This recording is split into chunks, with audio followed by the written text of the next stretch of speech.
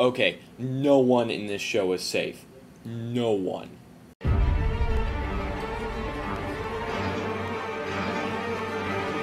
In the prologue before the intro, a mysterious figure is shown luring zombies using dead deer meat and breaking the lock off the prison gate. Shenanigans are clearly afoot. While that's going on, the group encounters Axel and Oscar, who want to join the group instead of living by themselves in a cell block full of their dead friends. Despite an inspiring speech by Oscar and T-Dog's approval, Rick decides to keep the prisoners in their cell block away from the rest of the group.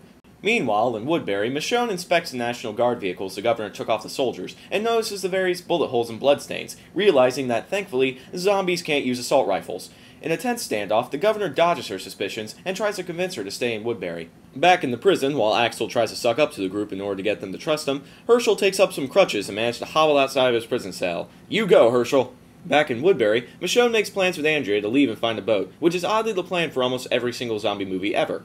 Back to the prison, everyone's outside enjoying a sunny day until they see zombies have infiltrated the courtyard. Everyone takes out their guns and starts fighting, only to split up and run away. During the chaos, T-Dog unfortunately gets bitten. Back in Woodbury, geez, this episode's all over the place, Andrea tells Merle the location of the farm they are living in back in season 2. During this time, they have a pretty creepy conversation where Merle wonders why they never hooked up, and Andrea says it was because he was a bit of a sexist, to put it politely.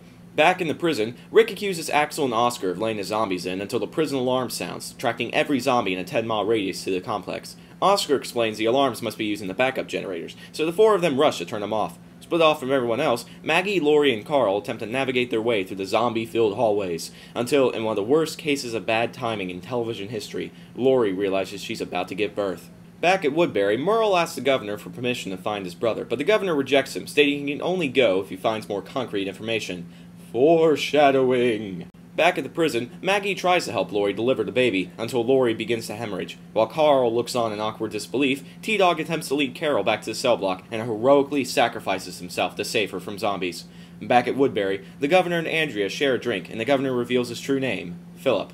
This scene is obviously the most important thing that could be happening in the episode at the moment. Back at the prison, Rick finds Andrew surprisingly not dead and finds out he's the one behind opening the gate and turning on the alarms. During a fight, Rick's gun ends up in Oscar's hands and Oscar points the gun at Rick, ironically the opposite of the usual situation.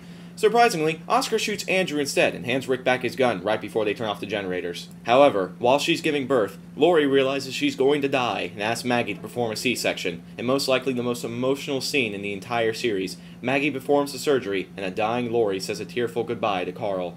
Once the baby is safe, Carl realizes his mom will turn into a zombie soon and shoots her off screen. Dang, man. Everyone meets up outside the prison except for Carol, who's mysteriously disappeared. When Rick sees Maggie and Carl emerge without Lori, the episode ends with him collapsing in grief while everyone else stares in open shock. Like I said before, no one is safe in this show. Speculation for next episode Rick is going to go nuts on some zombies.